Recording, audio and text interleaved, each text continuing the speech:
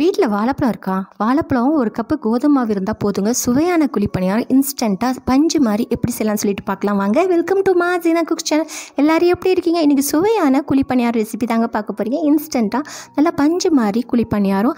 அது மட்டும் இல்லாமல் ஸ்கூல் விட்டு வரவன குழந்தைங்க வந்து பசியோடு வருவாங்க. என்னம்மா சாப்பிட இருக்குன்னு சொன்னாங்கன்னா இது மாதிரி செஞ்சு வச்சுருங்க. அதோட கொடுத்தா ஆசைப்பட்டு சாப்பிடுவாங்க. எப்படி செய்யலாம்னு சொல்லிட்டு பார்க்கலாம் வாங்க.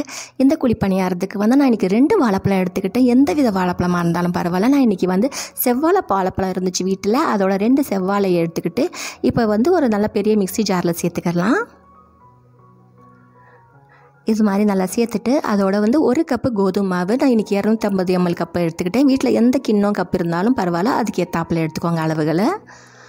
அதோட வந்து ஒரு அரை கப்பு வந்து நாட்டு சர்க்கரையும் சேர்த்துக்கிட்டேன். ஒரு கால் கப்பு வந்து அரிசி மாவு நம்ம இடியப்ப மாவு இருக்கு இல்லையா? பச்சரிசி மாவு அதையும் சேர்த்துக்கலாம் அதோட முக்கால் கப்பு வந்து தண்ணி ஊற்றிட்டு ரெண்டுலேருந்து மூணு ஏலக்காவையும் சேர்த்துக்கிட்டேன். ஏலக்காய் பொடி இல்லாதனால வெறும் ஏலக்காவை சேர்த்துட்டு ஒரு சிட்டியை உப்பையும் போட்டுட்டு நல்லா கலந்துக்கலாம் இப்போ நம்மளுக்கு இந்த மா கொஞ்சம் கட்டியாக இருக்கிற மாதிரி இருக்குது. ஸோ ரொம்ப கட்டியாக இருக்கு இல்லையா? ஸோ ஒன்றா ஒரு கால் கப்பு தண்ணி ஊற்றிட்டேன் டோட்டல் ஒரு கப்பு கோதுமாவுக்கு ஒரு கப்பு தண்ணி கரெக்டாக இருந்துச்சு இப்போ அளவு.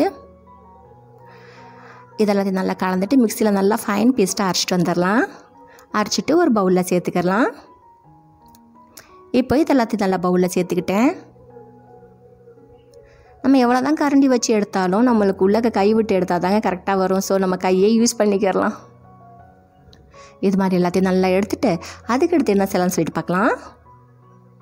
இந்த மாவோட ஒன்று கொஞ்சம் டேஸ்ட் என்ஹென்ஸ் பண்ணுறதுக்காக ஒரு அரை ஸ்பூன் வந்து நெய் ஊற்றிட்டு ஒரு தடுக்கா பேனில் ஒரு பத்து முந்திரி பருப்பை இது ஒன்று ரெண்டாக உடச்சிக்கிட்டேன். அது இதோட சேர்த்துட்டு அதோட ஒரு ரெண்டுலேருந்து மூணு கரண்டி ஸ்பூன் வந்து இது கோகோனட் பீசஸ் இருக்கு இல்லையா அதையும் இதில் சேர்த்துக்கலாம் இது மாதிரி நல்லா ப்ரௌன் கலர் ஆகிட்ட பின்னாடி வறுத்துட்டு இதோட சேர்த்துக்கிட்டு ஒரு ரெண்டு சிட்டிகை வந்து ஆப்ப சோடாவையும் சேர்த்துக்கோங்க. இந்த ஸ்டேஜில் ஆப்ப சோடா மெயினாக சேர்த்துக்கிறணும். ஏன்னா நம்ம நல்லா புஷ்ஷுன்னு உப்பி பந்தாட்டம் வர்றதுக்கு ஆப்ப சோடா தாங்க மெயினாக வேலை பார்க்கும். அதனால் ஒரு பத்து நிமிஷம் இதை மூடி போட்டு மூடி வச்சுட்டு எப்போ போல் குழிப்பணியார கல்லை வந்து சூடு பண்ணிக்கலாம் கொஞ்சம் நெய் ஊற்றி சூடு பண்ணிவிட்டு இப்போ இந்த மாவை வந்து ஒரு கரண்டி ஸ்பூனோ ஒரு டம்ளரில் மாவு ஊற்றியோ இது மாதிரி ஊற்றிக்கிறலாம் இது மாதிரி ஊற்றுற சமயம் நம்ம வந்து ஃப்ளேமை மட்டும் கொஞ்சம் மீடியமாக வச்சுக்கோங்க அவ்வளோதான் இது மாதிரி எல்லாத்தையும் ஊற்றிட்டு அது ஃப்ளேமை நல்லா மீடியம் வச்சுட்டு இப்போ நல்லா மேலே வந்து ஓரளவுக்கு வெந்துருச்சு. நம்மளுக்கு இந்த புளி புளியாக நல்லா காட்டி கொடுக்கும். இது நல்லா பாதி வெந்துருச்சுன்னு சொல்லிவிட்டு இப்போ இந்த மறுபக்கத்தை திருப்பி போட்டுக்கலாம் இது மாதிரி நல்லா மறுபக்கத்தை திருப்பி போட்டுக்கோங்க.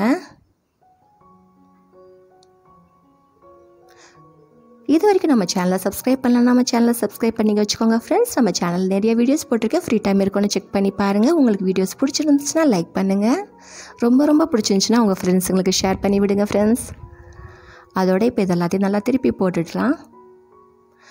நம்ம என்றைக்காவது எதாவது குழிப்பணியார் எதாவது சாப்பிடணும் போல் இருக்குதுன்னுச்சுன்னா நம்ம வீட்டில் இருக்கவே இருக்குது கோதுமாவும் ஸோ இது மாதிரி செஞ்சு சட்டுன்னு கொடுத்துருங்க. வீட்டில் உள்ள பெரியவங்களுக்கு கூட இது ரொம்ப விரும்பி சாப்பிடுவாங்க. அதோட எண் நெய் வந்து கொஞ்சம் மேலே அப்படி கொஞ்சம் கொஞ்சமாக ஊற்றிக்கலாம் மறுபக்கம். அப்படி நெய் விருப்பப்படலைன்னா எண்ணெய் ஊற்றிக்கோங்க நம்ம குழந்தைங்களுக்கு கொடுக்குறனால நெய் ஊற்றி கொடுக்கலாம். இதில் எல்லாமே சத்தான ஆகாரம் தான் நம்ம சேர்த்துருக்கோம். ஸோ கண்டிப்பாக வீட்டில் உள்ளவங்க எல்லாத்துக்கும் ரொம்ப பிடிக்கும். நல்லா பஞ்சு மாதிரி புசு புசுன்னு நல்லா அழகாக வந்துடுங்க இந்த குழி பணியாரம் கண்டிப்பாக நீங்கள் எல்லோரும் ட்ரை பண்ணுங்கள் இது மொத்தமாக எண்ணெயில் இது மாதிரி பொறிச்சு செய்கிறத விட இது மாதிரி வந்து அப்போது குழி பணியார் செஞ்சு கொடுக்குறது ரொம்ப ஹெல்த்தியானது வேறு. ஸோ நான் மறுபடியும் வேறு எதையும் செஞ்சுட்டு மிச்சமாவையும் மொத்தம் எனக்கு இது முப்பது குழி பணியாரம் வந்துச்சுங்க இந்த மாவுக்கு. மீதம் உள்ள மாவு எல்லாத்தையும் ஊற்றிக்கிட்டேன்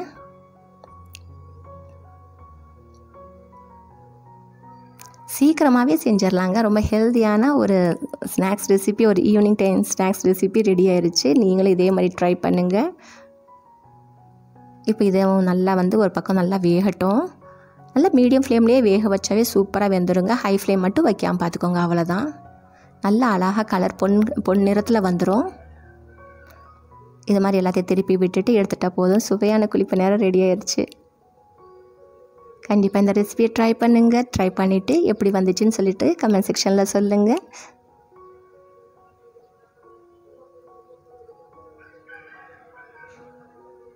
தேங்க்ஸ் ஃபார் வாட்சிங் and take care tata bye bye நீங்களும் இந்த ரெசிபியை கண்டிப்பாக ட்ரை பண்ணுங்கள் ஹாவ் எ நைஸ் டே